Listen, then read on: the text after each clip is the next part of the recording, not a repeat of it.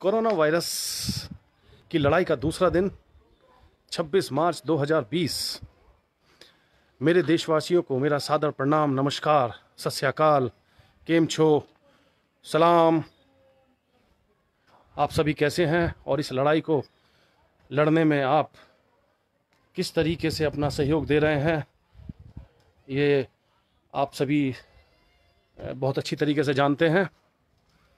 उसके लिए देश आप सभी का बहुत बहुत आभारी है। कल मैंने एक वीडियो डाली, उस पर आप लोगों की बहुत ही अच्छी प्रतिक्रिया मिली। पॉजिटिव ज़्यादा थी, नेगेटिव हल्की सी थी, पर मैं चाहूँगा कि थोड़ा नेगेटिविटी भी ज़्यादा आए ताकि हम लोगों को ये समझ में आ सके कि सही क्या है और गलत क्या है और उस पर डिबेट या डिस्कशन किया जा सके। कल काफ़ी लंबी बहस भी हुई और उसके बावजूद काफ़ी लोगों के टेलीफोन भी आए, उन्होंने इस बारे में डिस्कशन भी किया और लगातार जो है, उस पर उनको मैं समझा पाया कि वास्तविकता की स्थिति क्या है। सर्वप्रथम मैं धन्यवाद दूँगा हमारे भारत देश के आदरणीय प्रधानमंत्री श्री नरेंद्र मोदी जी का कि, जिनके नेतृत्व में हम इस कोरोना वायरस की लड़ाई में भाग ले रहे हैं। कल जैसा कि उन्होंने वाराणसी में बताया था कि पांडवों की लड़ाई, महाभारत की लड़ाई 18 दिन चली थी। और श्री कृष्ण जी के नेतृत्व में, अर्जुन जी के नेतृत्व में, युधिष्ठिर जी के नेतृत्व में उस लड़ाई का प्रतिनिधित्व किया गया था। उसी प्रकार से आज यह हिंदुस्तान, यह भारतवर्ष हमारे आदरणीय प्रधानमंत्री श्री नरेंद्र मोदी जी के नेतृत्व में कोरोना वायरस से लड़ाई लड़ रहा है। और निश्चित तौर पर वह लड़ाई अट्ठारह दिन में समाप्त हुई थी, परंतु हम इस युद्ध को उससे पहले भी जीतने की क्षमता रखते हैं और जीतेंगे। आज बहुत ही विचित्र विचित्र बातें हुई इस कल की वीडियो को लेकर, जिसमें एक महत्वपूर्ण बात मैं आपको शेयर करना चाहूँगा। बहुत ही पारिवारिक है, परंतु मैं चाहूँगा कि आप सभी से उस चीज़ को डिस्कस किया जा सके। सुबह आप जैसा कि टेलीविज़न में देख रहे होंगे कि अ, 649 अ, वायरस पीड़ित लोगों की संख्या सभी समाचार चैनल बता रहे थे। और सभी लोग उसको लगातार देख रहे हैं कि जिस तरीके से वो धीरे धीरे बढ़ रही है और कुछ मरीज़ मरीज़ हमारे ठीक भी हो रहे हैं कुछ मरीज़ बढ़ते जा रहे हैं और सही भी होते जा रहे हैं। अभी तो 34 अ, जो है वो बढ़े आज और 34 आज सही भी हो गए। तो सभी लगातार गिनती बराबर चल रही है। अ, मेरी पत्नी से मैंने कहा कि मेरी जो कल की वीडियो थी उसको लगभग बारह सौ लोगों ने लाइक किया है उसको देखा है।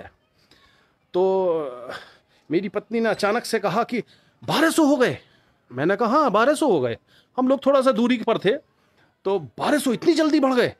मैंने कहा हाँ सुबह थोड़ा सा हज़ार थे अभी बारह सौ हो गए। बोली सुबह तो सिक्स फोर्टी नाइन थे। मैंने कहा six forty nine six forty nine तो कल थे। वो बात कर रही थी कोरोना पीड़ित मरीजों की संख्या लेकर, और मैं बात कर रहा था मेरी कल की वीडियो के लाइक को लेकर।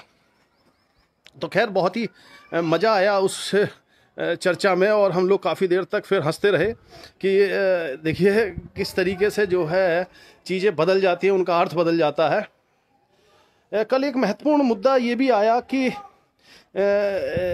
जो हमारा विदेशों में हमारे लोग रह रहे हैं, है ना? और वो भारत में आए और भारत में उनकी वजह से कोरोना पीड़ित मरीजों की संख्या बढ़ी है। तो क्या इसमें कितनी सत्यता है और कितना इसमें सत्यता नहीं है? इस बात बात को समझने और समझाने की आवश्यकता है।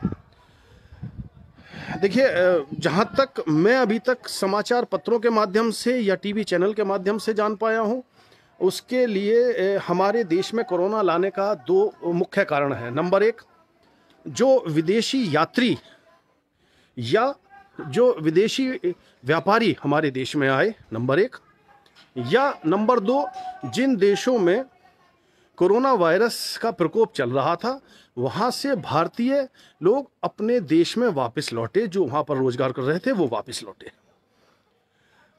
तो इन दोनों के माध्यम से ही सर्वप्रथम कोरोना वायरस हमारे देश में आया। मुझे तो यही महसूस होता है। और सभी के माध्यम से भी, समाचार पत्रों के माध्यम से भी यही बात की जानकारी निकल के आ रही है। तो जो लोग वहाँ पर रह रहे हैं विदेशों में उनको, मेरे विचार में, वहीं रहकर इस लड़ाई से लड़ने की तैयारी करनी चाहिए थी, क्योंकि वो लोग वो देश हम लोगों से ज़्यादा समृद्ध है। हम लोगों से, क्योंकि हम विकासशील देश हैं और वो विकसित देश हैं। तो विकसित देशों में, विकासशील देशों की तुलना में ज़्यादा संसाधन होते हैं, उनकी पॉपुलेशन हमसे कम है, हमारी पॉपुलेशन उनसे कहीं ज़्यादा है। 130 करोड़ भारतीय रहते हैं यहाँ पर, और वहाँ पर किसी देश की जनसंख्या 10 करोड़ है, किसी की 8 करोड़ है। वो लोग उस महामारी से आसानी से लड़ सकते थे। तो मेरे विचार में जो भारतीय विदेशों में रह रहे थे, उनको भारत नहीं आना चाहिए था। उनको इस महामारी से लड़ने के लिए उसी देश में रहना चाहिए था। आज हमारे एक भाई ने दुबई से मुझे कॉल किया और शुरू में हो सकता है कि उनके कुछ विचार अलग रहे हों, परंतु बाद में उनको जब मैंने अपनी बात को विस्तार पूर्वक समझाया तो उन्होंने समझने की कोशिश करी और वो समझे भी। और मैं धन्यवाद दूँगा मेरे छोटे भाई अंकित चौधरी का, जो दुबई से, जिन्होंने मेरे से इस संबंध में बातचीत करी और उन्होंने इस बात को समझा भी। देखिए, उन्होंने मुझे बताया कि दुबई में किस तरीके की तैयारियाँ चल रही हैं, वहाँ पूर्ण तरीके से लोग बाग नियम कायदों का पालन कर रहे हैं और जो चीज़ें कोरोना से लड़ने में सहायक हैं, उनका वो भरपूर प्रयोग कर रहे हैं। आ, तो मैंने उनसे पूछा कि आप क्यों नहीं आए? तो उन्होंने कहा मुझे आने की आवश्यकता नहीं है मैं यहीं रहकर सही अपने को महसूस कर रहा हूँ और मेरे आने से ए, हो सकता है कि वायरस का इन्फेक्शन जो है वो भारत में आ जाए। बिल्कुल सही सोच थी। मैं समझता हूँ कि यह सोच बिल्कुल सही थी।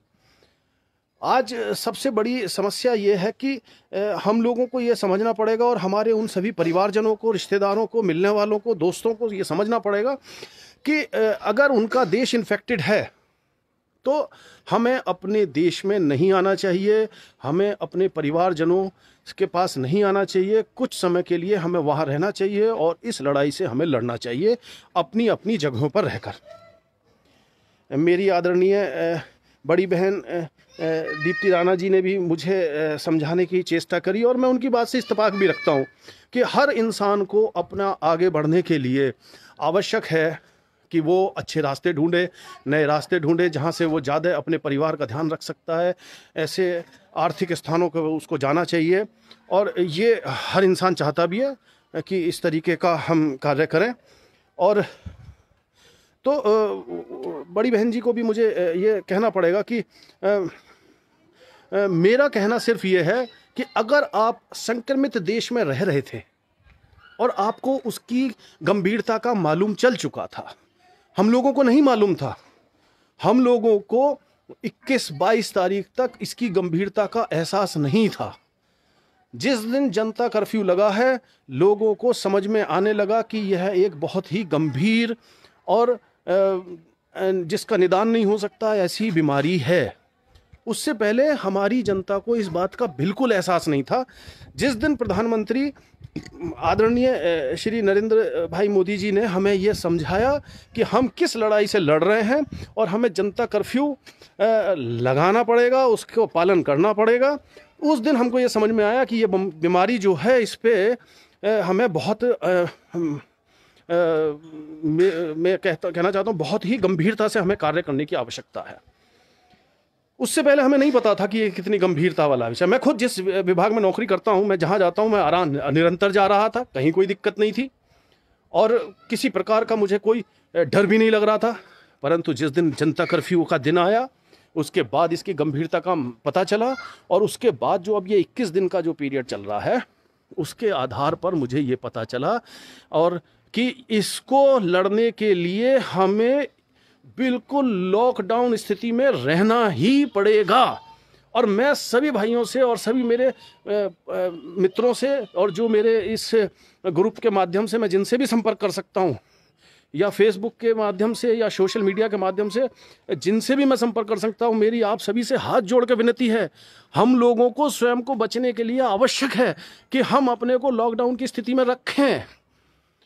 रोज ना निकलें, एक दिन जले जाएँ, अगर हमें दूध भी की आवश्यकता है तो हम दूध ला के फ्रिज में रख लें, स्टोर कर लें उसको। हमारे पास इस समय व्रत का टाइम चल रहा है, ज़रूरी नहीं है कि हम लोग सब्जियों पर डिपेंड हैं, हम लोग सिर्फ़ आलू और आटे के ऊपर भी अपने जीवन का व्यापन कर, निर्वाह कर सकते हैं, इसलिए क्या ज़रूरत है हमें रोज़ निकलने की? हम तीन दिन में, चार दिन में एक बार निकल सकते हैं, और वैसे भी तो ऐसे ही होता था। मैंने बहुत से लोगों को देखा है, जो वीकली मार्केट्स लगते थे, वो केवल उसी दिन जाते थे। वो रोज़ नहीं जाते थे मार्केट में। वो किसी दिन भी अपने घर के से निकलकर सब्ज़ियाँ खरीदने के लिए नहीं जाते थे। परंतु अभी क्या हो रहा है कि वो लगातार हर दिन जा रहे हैं। मत जाइए भाई, मत जाइए। एक को भी इन्फेक्शन लगेगा, आपके आसपास का कोई भी नहीं बचेगा। सब इन्फेक्टेड हो जाएँगे। अभी 21 दिन है। हो सकता है ये 121 दिन में बदल जाए, तब क्या करेंगे हम? कुछ जो समृद्ध लोग हैं वो संभल जाएँगे, उनको कहीं कोई दिक्कत नहीं है। परंतु जो लोग कमज़ोर हैं, जो कमज़ोर तबका है, वो कैसे संभलेगा? हमें अपने मोदी जी का, हमारे प्रधानमंत्री जी का धन्यवाद देना चाहिए कि जिन्होंने समय रहते हम लोगों को इस परेशानी से निकाल देखिए, करोड़ों, लाखों रुपए का, लाखों करोड़ों रुपए का। अगर पैकेज गरीबों को दिया जा रहा है। तीन महीने तक उनकी गैस फिलिंग फ्री है। तो समझ लीजिए कि कितनी बड़ी बात है, कितनी गंभीर बात है कि सरकार हमको, हमारे अपने निज स्थानों पर रहने के लिए हमारे सब संसाधनों की पूर्ति कर रही है। इसकी गंभीरता को हमें अवश्य ही समझना और सुनना पड़ेगा। नहीं समझेंगे तो जैसा हमारा इटली में हुआ, अमेरिका में हो रहा है, और ऐसे बहुत सारे देश हैं जिनकी हो सकता है कि हमें जानकारी ही ना हो। जहाँ पर सरकार ने शायद बाहर सूचनाओं को जाने पर रोक लगा रखी हो, उनकी क्या स्थिति होगी, वो कैसे अपना जीवन निर्वाह कर रहे होंगे, कैसे इस समस्या से समाधान पा रहे होंगे, हमें नहीं पता। परंतु जिनकी हमें सूचना आ रही है, उन देशों के सामने हमारी स्थिति बहुत ही नगण्य है। हम सिर्फ़ पॉपुलेशन में ज़्यादा हैं, संसाधनों में ज़्यादा नहीं है। तो इसलिए मेरा सभी से निवेदन है कि प्लीज़ प्लीज़ प्लीज़ अपने घर में रहिए।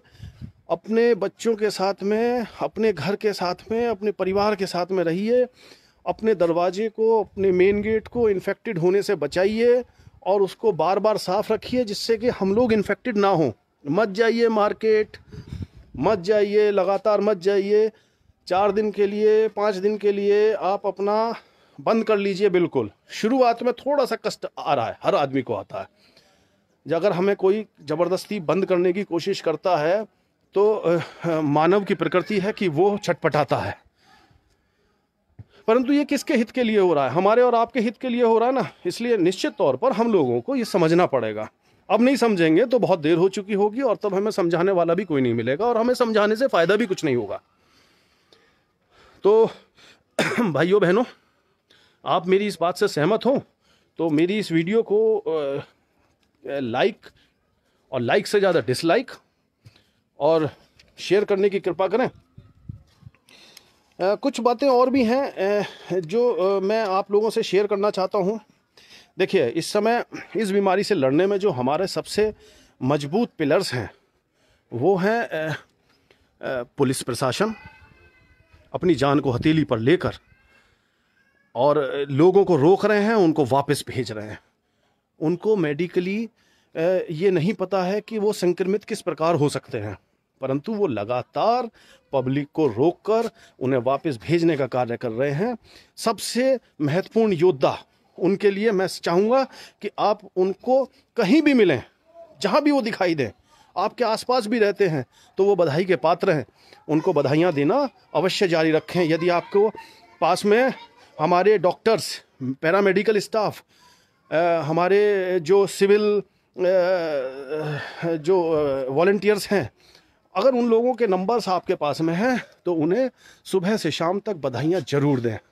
हमारे रक्षक अपनी जान को, अपने परिवार की जान को हथेली पर लेकर हम लोगों के लिए लगातार इधर से उधर कार्य कर रहे हैं।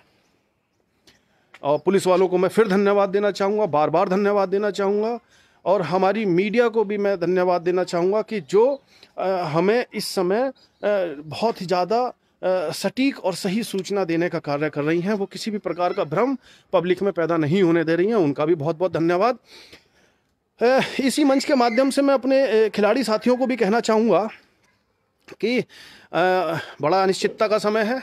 अभ्यास किस प्रकार किया जाए, ये तो बड़ा मुश्किल है क्योंकि सभी खेल के मैदान पूर्ण रूप से बंद हैं। परंतु अपनी फिटनेस को ध्यान में रखने के लिए आप लगातार अपने घर पर, अपने स्थान पर, निजी स्थान पर आप अभ्यास कर सकते हैं। आप अगर थोड़ी बहुत भी अगर आप cardio type stretching type exercise कर सकते हैं तो आपको करना चाहिए और उससे अपनी फिटनेस बना के रखें। और आज के लिए मैं चाहूँगा कि आप सभी को धन्यवाद दे सकूँ कि आपने मेरी इस वीडियो को देखा भी, शेयर भी किया। और आगे भी लगातार आप करते रहेंगे। और मैं आपसे हाथ जोड़ के विनती करता हूँ, कृपया अपने घर में रहिए, हमें और अपने आप को सुरक्षित रखिए। बहुत बहुत मेहरबानी होगी आपकी। जय हिंद, जय भारत। जय हिंद। धन्यवाद।